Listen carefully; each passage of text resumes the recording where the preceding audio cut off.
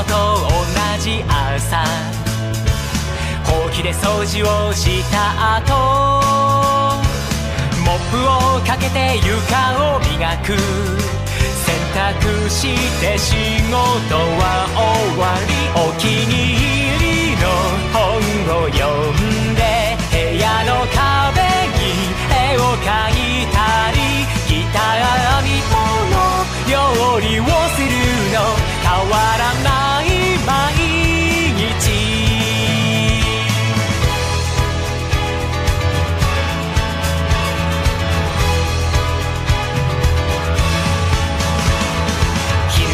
パズルに夏におやつ。いたずらバレエそしてチェス。焼き物それからキャンドル作り。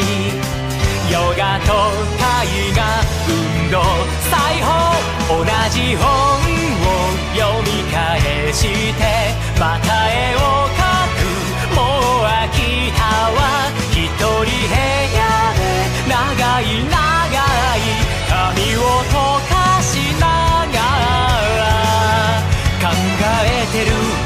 私のこんな暮らしいつまで続くの？